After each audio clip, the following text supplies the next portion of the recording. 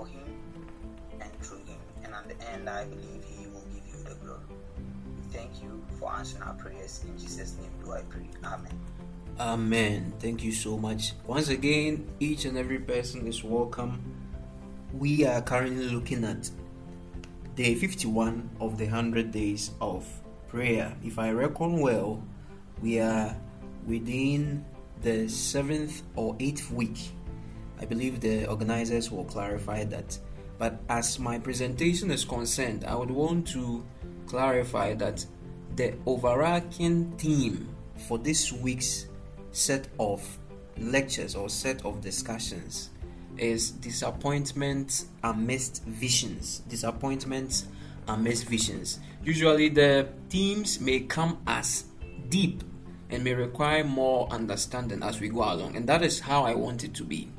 I would always want the presentation to keep you informed, then challenge you to think.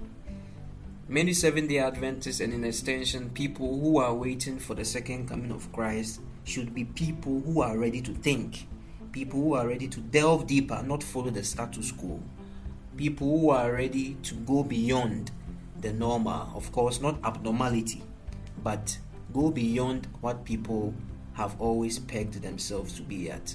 Once again, disappointments are missed visions Actually, what inspired me to think about and even talk about this particular theme is what Peter began when he was presenting his set of presentations. I had been thinking about a lot of things when I was told I had a slot which I would be presenting a lot of things. However, after going through what Peter has said, I was challenged to, to continue in a particular direction, especially within the context of prophecy. And tonight, we would want to begin with a continuation which takes a different path from what he began with. Peter began with visions being rare, when visions become rare. But I want to talk about a particular line of thought which discusses visions in a different trajectory. So I'm thinking about before visions becoming rare, the prophetic sense of that. We all know the story of 9 11. Everyone who was born before the 2000s is privileged to have heard about 9 11, of course, standing for what happened in September in 2001, the 11th of September. Friends, if you reckon very well, and for the sake of some of us maybe who may have not heard about such an event, I would want to give a clear picture to you. Then we reason together, then delve deeper into our discussion for tonight. September morning. The sun rose over New York City. It casts a golden hue on the bustling streets below we know that New York City is a city that is always alive. It hums with the sounds of a new day. Birds will be chirping. Then we see the skyscrapers, yellow taxis, and all of these things were clarifying the fact that New York was busy in that particular day. Office workers with coffee in their hand, they were walking to and fro to their destinations. The world's worries had been forgotten because of the morning routine in New York City. The sky was clear, perfectly blue. There was no mask of a single cloud. Now, as the morning went on, minutes ticked away. Then it brought the city closer to an unimaginable moment that would forever alter its course. What am I talking about? At 8:46 a.m., something happened.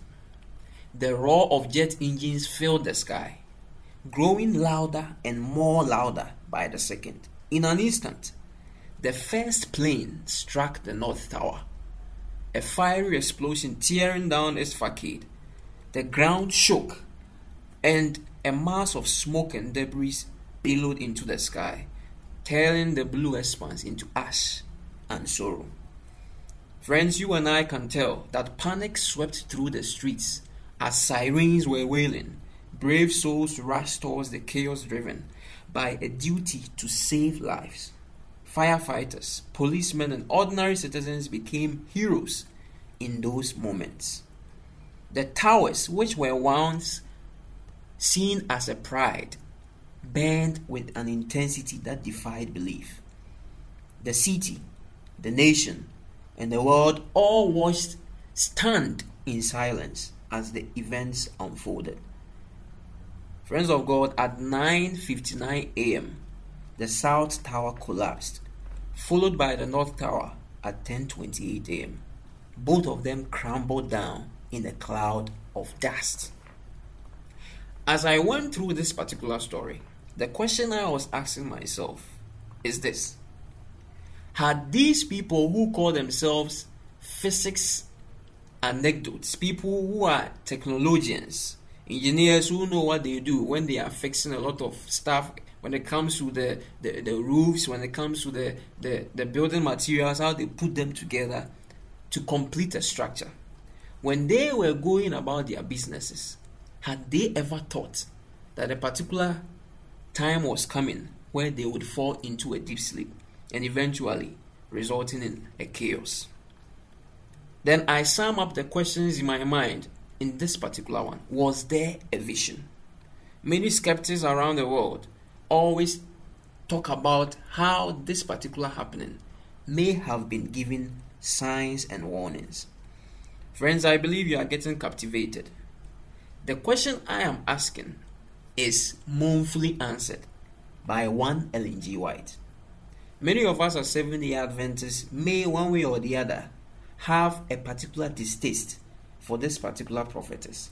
But here is what she writes on one of the most important events that happened in the history of the United States of America. Ellen White says, On one occasion, when in New York City, I was in the ninth season called upon to behold the buildings rising story after story toward heaven. These buildings were warranted to be fireproof.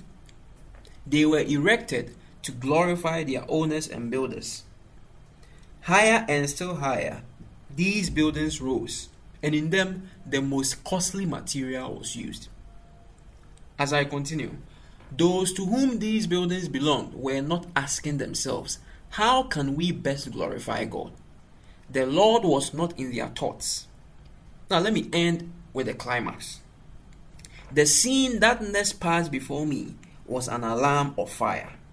Men looked at the lofty and supposedly fireproof buildings and said, They are perfectly safe. But these buildings were consumed as if made of pitch. The fire engines could do nothing to stay the destruction. The firemen were unable to operate the engines. Where am I reading this? Testimonies for the Church, Volume 9, page 12 and 13. I hope you got that. The key points I cannot miss and I believe you also cannot miss from the extract I read from the Spirit of Prophecy are these. We can draw some parallels from what happened and the current happening as Ellen White describes.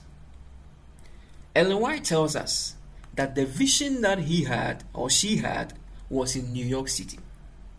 It is very clear that the destruction of the World Trade Centers that particular happening took place in New York City.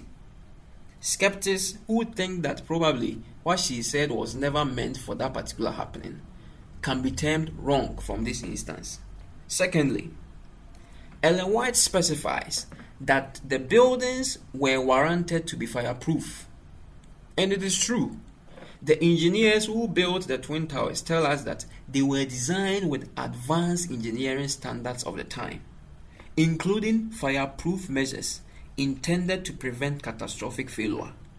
Once again, the vision was right. Thirdly, we are told, according to the account of Ellen White, that the buildings were erected to glorify their owners and builders. You and I know that countries such as the United States of America always projects whatever they do to glorify their territorial integrity. In other words, whatever the US does is supposed to hail the US and the US alone, at the detriment of other superpowers like Russia, China, Germany, and the others. Indeed, we are told by the engineers that the construction of the World Trade Center was a monumental engineering achievement. Hitherto, there had never been such an engineering before. Once again, the vision was right. Then let me continue so that I will whet your appetite. Ellen White specifies that those who were the owners of the World Trade Center rejoiced with ambitious pride. In fact, they didn't have the Lord in their thoughts. It is complemented that during the time of the World Trade Center, because of the busy commerce, the successful completion and operation of the World Trade Center filled its owners and the business community with pride. It symbolized America's dominant position in global economics. Let me continue. Once again, what I read from the extracts, remember I read from Testimonies for the Church, volume 9, page 12 and 13, tells us that that particular building, the monumental achievement, the World Trade Center, provoked the envy of neighboring nations.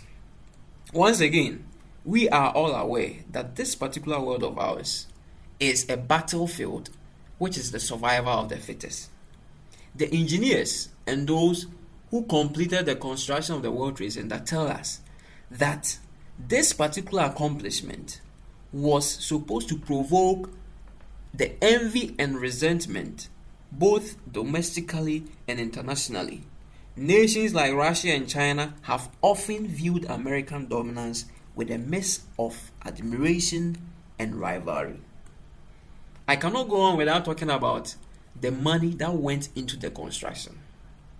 Ellen White tells us that that particular money was obtained through exaction, okay, through grinding down the poor.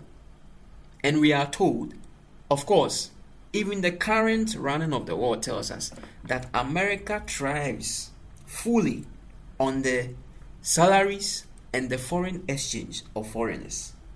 And indeed, we are told that America, by virtue of what they had amassed from foreign exchange, invested in the World Trade Center. Now, to the main points. E.G. White said there was an alarm of fire. And as I read, it is very clear anyone who has had the opportunity to watch the documentaries of 9 11 can specify clearly that the fire that quenched down that building was nothing short of something closer to hell. Friends of God, I initially began by asking the question that was there a vision? Before the tearing down of the World Trade Center, had people been told that something of the sort was going to ever happen? And that brings my mind back to the overarching theme before visions become rare. We can tell for a fact that the current system of the world has placed people in a state where we feel that the world is lacking vision. The Lord is silent. Even the people who are closely knitted to the church system, I'm talking about the clergy, the pastors, the elders, many people are thinking that the world is now tramping into a deep sleep such that there is no vision. And as we have clarified, it is clear that before the destruction of the World Trade Center, there was a vision.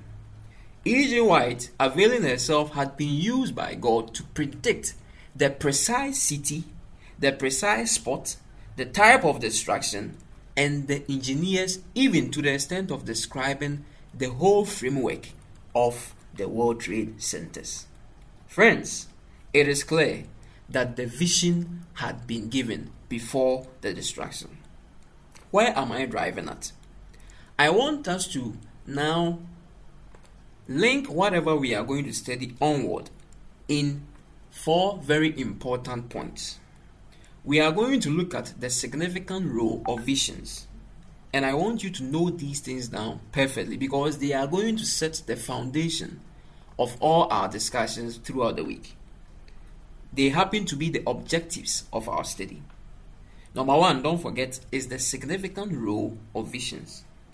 Number two, we are looking at the antecedents of visions. When I say antecedents, I mean things or events that necessitated the visions, events that resulted in the giving of the visions.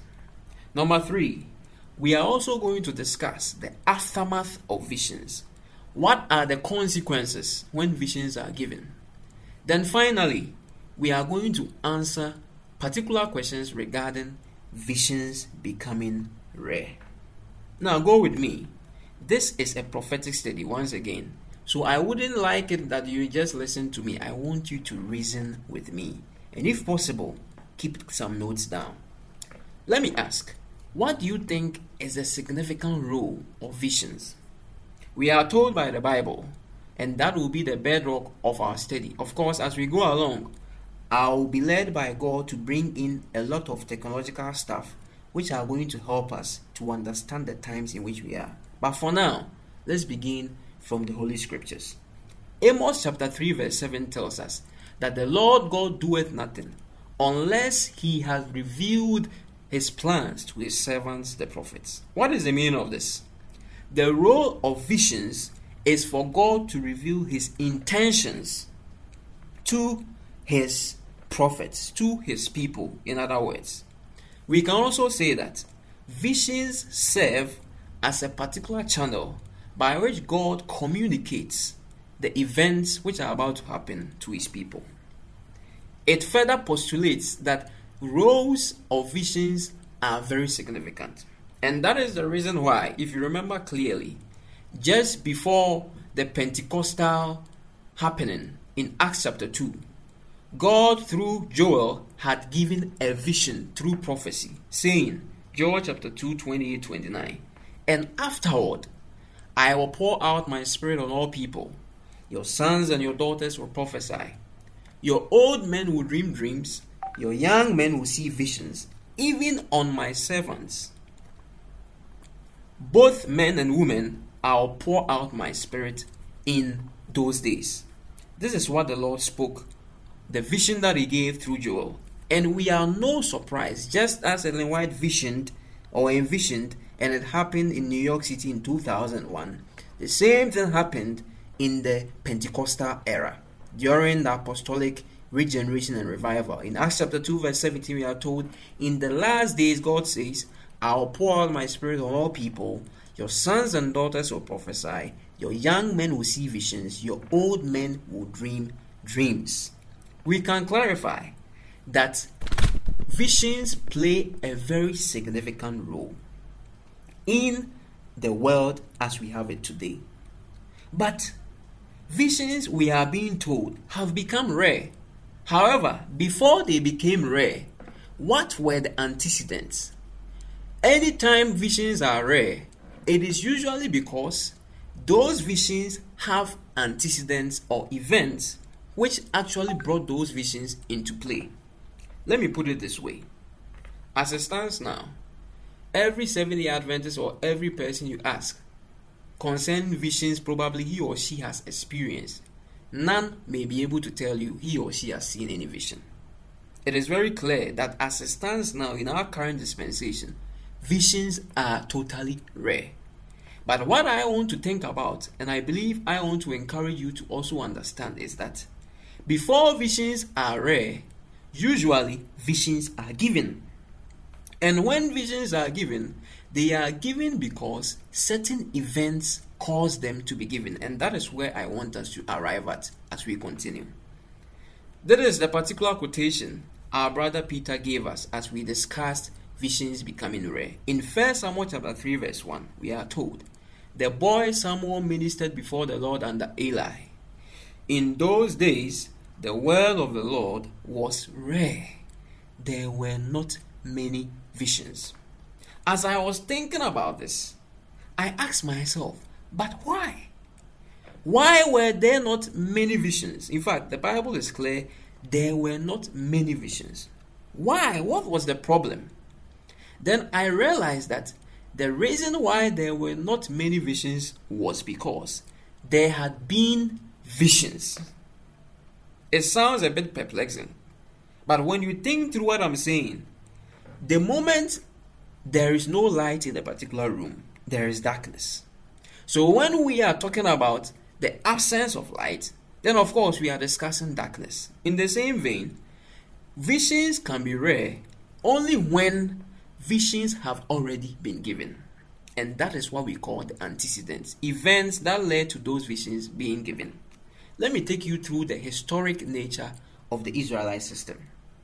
We are told that before the time of Samuel, and remember we read 1 Samuel chapter 3, verse 1, the Bible clarifies that 300 years prior to the birth of Samuel, I mean from the time of the death of Joshua up until the time of the birth of Samuel, there was some 350 to 390 years in between. That was a time called the time of the judges. This time falls within the era of the judges where there was a cyclical pattern of Israelites falling into sin. They are oppressed by their enemies, they will cry to God, and then they are delivered by a judge.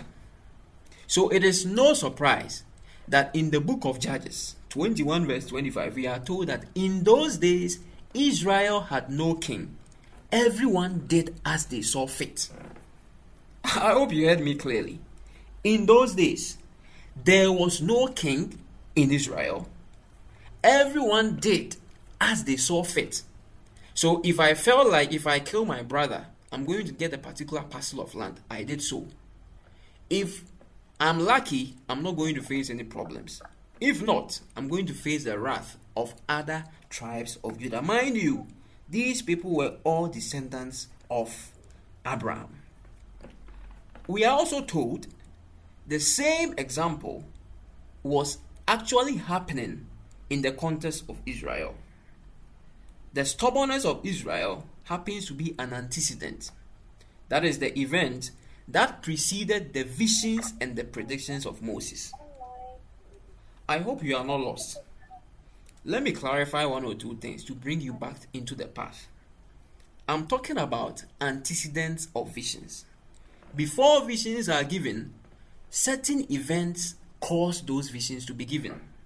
So, in the normal layman's term, before the vision concerning the destruction of Jerusalem was supposed to be given, certain events, which of course encompasses the stubbornness of Israel, necessitated the giving of the vision. And I'm giving you examples. For example, the stubbornness of Israel during the 40 days of wilderness caused Moses to give visions concerning how Israel was going to fare during the time of the judges. Do you know that, aside that, there's another example where the stubbornness of the kingdoms of Israel. Remember, Israel later was divided into two kingdoms the northern kingdom and the southern kingdom. Then we are told that the stubbornness of the kingdoms of Israel necessitated the visions of the prophets. Friends, whenever visions are given, they are given because certain antecedents, certain events occurred. The next point of call I want us to discover, I want us to discuss, or I want to reason with you with, is the aftermath of visions. When visions are given, what are the results? Mind you, we have talked about the significant role of visions, the roles that visions play. We have understood that visions are given so that God can communicate with his people. Number two, we have discussed the antecedents of visions, events that happen which call for visions to be given. And in the context of Israel, especially in the context of Samuel, we understood that the time of the judges, because of the moral decadence, because of the stubbornness of the Israelites, visions were given such that in the time of Samuel, those visions had ceased. We have also discussed examples like the kingdoms of Israel, okay, where visions were given because the Israelites were stubborn, and God used those visions to prophesy the results of those sins. The third point we have to discuss is the aftermath of visions. When visions are given, what are the results? Friends, there are three very important results whenever visions are given. Number one, when visions are given, it propels certain group of people to be revived and be reformed. However, another group of people will only slide steeply in moral decline. If you missed that, let me repeat. Whenever visions are given, there is a revival or reformation for one class of people. Then there is a steep moral decline of another class. And that is what we see throughout the history of the Bible. You see, there is something I want us to take very keen look at as I discuss what we are going through. Everything that happens in the Bible is actually a repetitive cycle of God trying to fill people and bring them to the light, and people trying to fill God and live outside the light of God. And that is what happens throughout the Bible, day in, day out. Back to where I was starting. A revival or reformation for one class of people and a moral decline for another class. In the case of Israel, once again, prior to the prophets, when I say the prophets, the Isaiahs, the Daniels, the, Jeremiahs, before those people were given visions, it is very clear that when Israel had gone into a particular apostasy, which is the antecedent, they had been now ordained to give visions. Then, when they gave those visions, it stirred up the hearts of a particular group of people to change their habits. Then, it only increased a particular group of people to be more stubborn in their sin. In the same vein, we see that when visions were given during the apostolic church, when Peter, for example, when you read Acts chapter 11, when Peter saw a vision of a tree where different kinds of unclean meat were, were given, and later he understood the vision. When the apostolic generation was moving on and on and on, expanding the church of God, they realized that a particular group of people had now been revived and reformed, while another group were steeply morally declining. Once again, in our current dispensation, don't forget we are discussing the aftermath of visions, the results of visions. In our current dispensation, when visions are given, the aftermath is supposed to be that just prior the second coming of God, there will be two classes where one is revived by those visions and one is morally declined by those visions. The next step is that we may be awakened to the signs and the positioning we will take after those visions are given. Let me take it in a simple way. When visions are given, either we are revived or we continue the sins that we are doing. Then, when we have taken such a stand, it's either we are awakened to the signs, then we become a remnant, or otherwise. So this continues throughout the biblical narrative, where the aftermath of visions awakens God's people to the signs, and that is why visions become rare. I hope you are understanding where I'm coming from. The reason why God used Peter to tell us that visions have become rare is because number one, visions have been given where people have been revived and continually are being revived, while others are morally declining. And when visions, those visions were given, which of course encompasses the writings of the spirit of prophecy and the various prophecies in the Bible, some of us have been awakened to the signs of the end time and have positioned ourselves as the remnant. Then finally, like I said, because these two things have happened, visions will become rare. So that those who have positioned themselves properly, being awakened by the signs of the fulfillment of those visions, can now enter into the fulfillment of the visions and the judgment that comes after. Friends, from where we started, we understood and clarified that an example of the World Trade Center tells us that visions were given. But during the decline of the World Trade Center, during the collapse of the World Trade Center, visions were rare.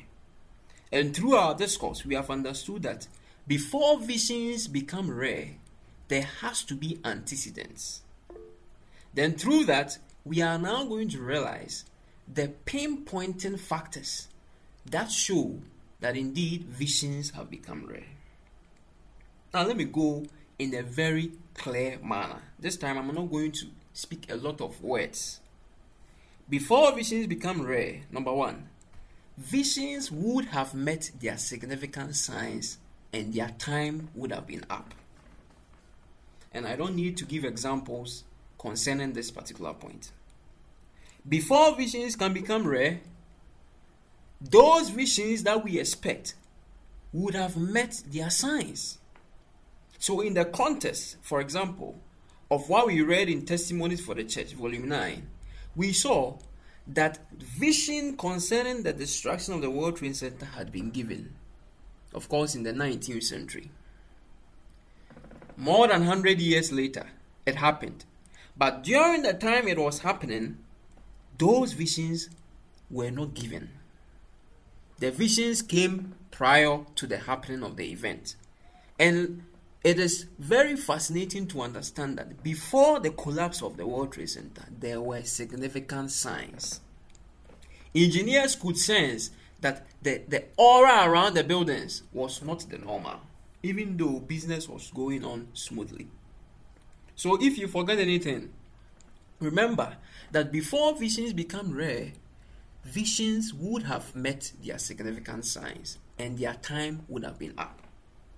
Secondly, before visions become rare, before we enter into a state where we do not have people saying we have gotten visions, we have seen this and that, before those times come, and this is the current dispensation we find ourselves, before this, we would have had enough evidences to direct us against disappointments and remain steadfast with God. What am I trying to say? The reason why we are not experiencing visions now is because the people of God, even those who don't identify with God's people, have enough evidences to direct us. I don't think anyone can disapprove what I just said. All the evidences in the Bible are so clear and enough for our time. And that is why visions have become rare. Thirdly, before visions become rare, we would have reached the appointed transition period. And this is where I would want us to be very, very focused as I bring the proceedings to an end. Once again, before visions would become rare, we would have reached the appointed transition period. Now, let me give you a gist of the transition periods in the biblical timeline. Wherever you are, if you are sleeping, if you are not attentive, please, by the mercy of God, spare me just about 10 minutes of your time at this particular juncture.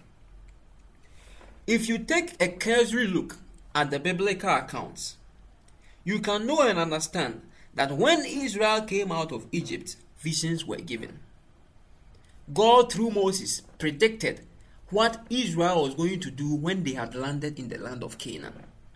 I don't need to quote a lot of biblical references concerning this. God had told the Israelites that you people are stiff necked, and because of that, because of your stubbornness, even with this 40 years of wanderings, these are the things you are going to face in the land where I'm going to give you. Friends of God, when Israel had left Egypt, during the discourse with Moses, God gave them several prophetic visions.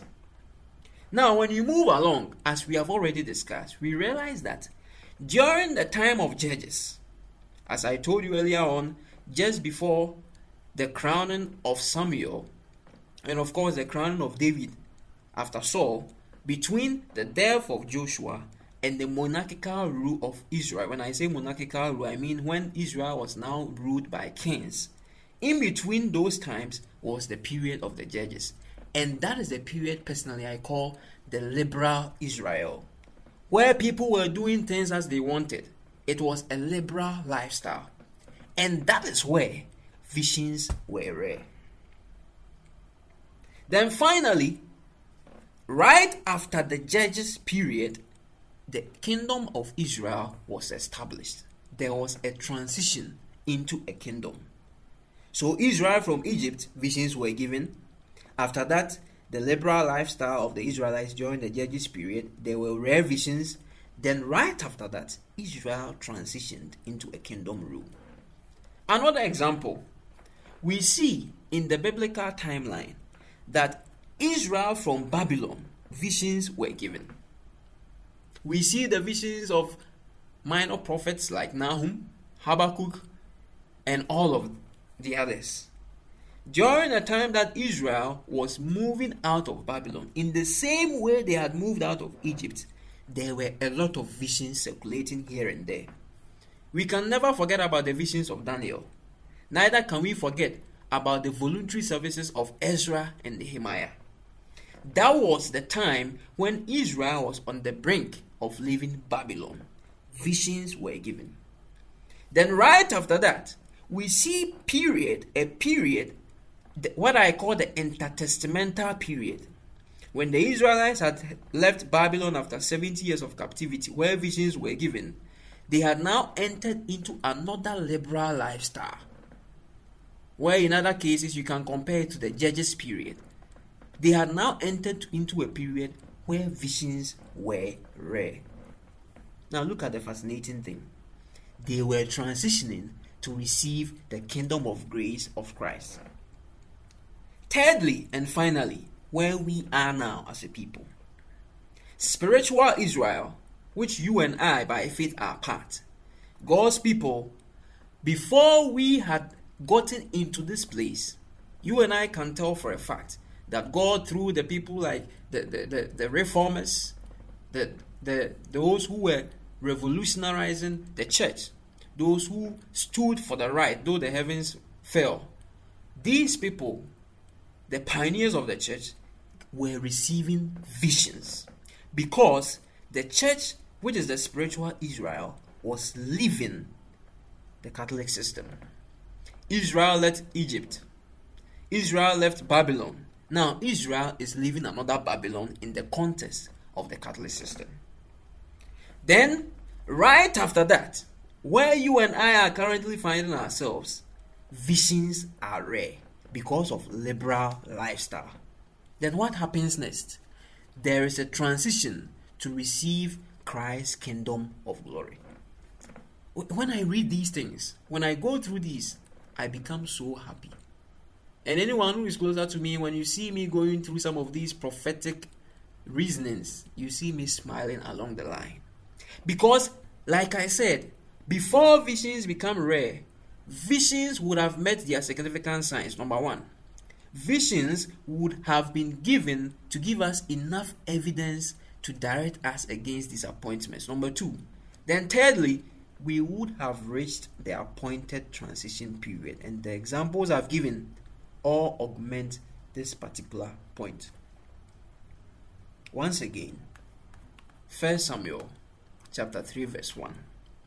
The boy Samuel ministered before the Lord under Eli. In those days, the word of the Lord was rare. There were not many visions. Compare that to our day. Yes, like Peter said, visions have become rare. But through the mercies of God, we are also saying that before visions become rare, we would have reached an appointed transition period. Why? A transition is near. A transition is about to happen. And that is why it is no surprise that, like Israel of old during the time of the judges, we're living liberal lifestyle. As I told you, we are told in Judges chapter 21, verse 25, that in those days Israel had no king. Everyone did as they saw fit. That is the same situation we are finding ourselves. Just as Israel left Egypt, visions were given. Then, after that, they lived liberal lifestyle. We spiritual Israelites have come out of Babylon. And now, just before the transition into Christ's kingdom of glory, we are also living a liberal lifestyle. And that is why visions are rare. Friends, before visions become rare, transition is near. The question is, are you ready? It is no surprise that visions are rare because previously visions have been given. I want to take this particular moment so that we enter into about 10, 15, 20 minutes of prayer. I had envisioned that I would end my presentation in an hour time, and luckily enough, I have done that. But for the sake of those of us who have actually understood the precepts of what we have discussed, I believe it is equally important that we have a season of prayer. The overarching theme, as I earlier stated, is disappointments amidst visions. And tonight we have discussed that before visions become rare, we would have had enough evidence to direct us against disappointments. Now, what I'm really thinking about is that it is rather unfortunate that people in our current time, pastors inclusive, elders inclusive, church clerks and administrators inclusive, we have become disappointed because visions are rare. And that will be the bedrock of this week's study. I would crave your indulgence. Please don't miss even an evening and continuously follow this season set of prayers. The question is while this transition goes on, are you ready? And that is why I am allowing myself to go through the disappointments amidst visions.